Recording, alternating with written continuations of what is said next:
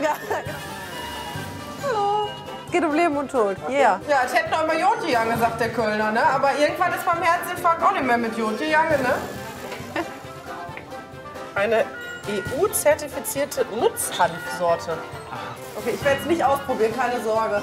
Oder wir machen das mal, ich probiere es aus und guck mal, was passiert. Holz nach. Ich habe Adenosin, ich kriege das EKG im Rücken gefahren. gesagt, Sie, ich möchte mal zu einem Ort hin, wo ich noch nie im Leben war. Ja, sagte man, geh in die Küche. So, jetzt schon, dafür kriegen Sie jetzt die Maske wieder drauf.